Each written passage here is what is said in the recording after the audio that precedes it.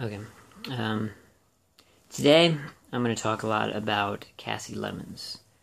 Um, I and mostly it's because I had mentioned Samuel Jackson doesn't have a lot of love scenes uh, in his films, but actually in the Kasi Lemmons films he does. If you don't know her, um, they were first in a film together, a Spike Lee film called School Daze. Samuel Jackson and Kasi, uh, and to go to to bring this. if you've never seen School Daze, and you may not have seen it, uh, there was a controversy some time ago where a reporter confused Samuel Jackson with Laurence Fishburne. This made this makes no sense to me. I that one I don't get. And if you ever need, if you really have ever had that problem before, you should watch School Daze because in it, Laurence Fishburne, Samuel Jackson are both in the film, and Samuel Jackson asked Laurence Fishburne uh, if if he's black. so uh, that that should burn in your mind uh, what the two um, look like, who they are. They're very different people. Samuel Jackson was not on Pee Wee's Playhouse. Um, Samuel Jackson was not in The Matrix. Uh, if you've really ever had that problem, I hope I've just solved that for you. So that was Kasi Lemmons, though in in a in a lot of she was in a lot of small roles um, as an actress, and uh, like some actresses and actors, they go, you know what I really want is to, to direct, and uh, luckily that worked out really well. She's awesome director. Uh, uh, she most I think the last film she did was like Nativity Story, kind of under the Tyler Perry thing. I think was Tyler Perry part of that can't remember. Um, then Talk to Me with Don Cheadle, but she did two films. Man, I hope that Tyler Perry. I'm not even sure now. Don't even worry about that. He's involved in lots of stuff. I mean, you know, he's a major producer in like Black Panther. He doesn't just dress up like a woman. Uh, he actually he actually does a lot uh, of cool stuff. Here you go. And the uh, Miss Valentine um, was the film I was talking about earlier. But we'll start with Eve's Bayou. This is the uh, Lionsgate signature series, signed and, and not really signed, but you know.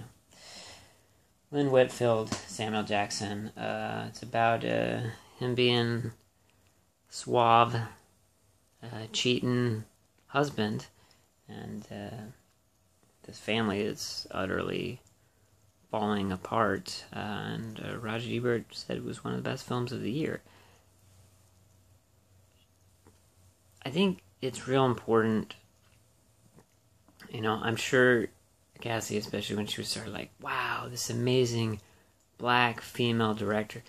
Kasi is just a good director. If she, whatever she chooses to do, it's really good. She makes great films. She makes films that people, other people probably wouldn't make, and that's important too. There's a lot of directors who do that.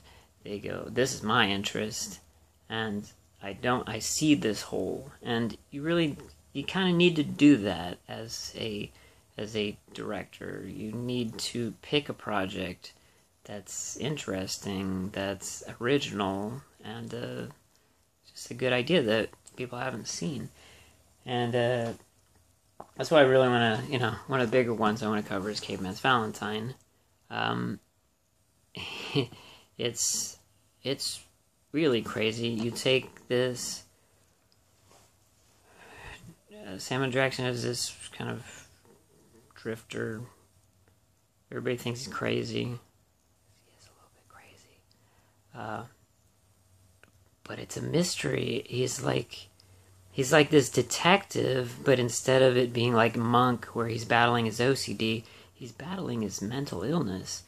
Um, but but you watch it with like I've never seen anything like this movie. Uh, and then the best is to uh, to pick up along the way uh, this this this woman and have kind of a romantic affair while you're being the detective while you're battling the mental illness. Uh, it's it's amazing. Um, it, it's really fun, and it's real neat how they visually uh, do it with you know the, the wings and everything like that. I I can't really recommend the film more because again you you'll never see anything like the film. I barely want to say much about it because you just kind of got to dive in. You're not going to be ready, uh, but you should uh, you should enjoy it. Um, I really hope Kasi comes back. I mean, she she's older now. I don't know if she she still has interest in making films. Maybe she does. Maybe she's gonna come out with one next week. Um, but really, both uh, both Samuel Jackson films were absolutely great.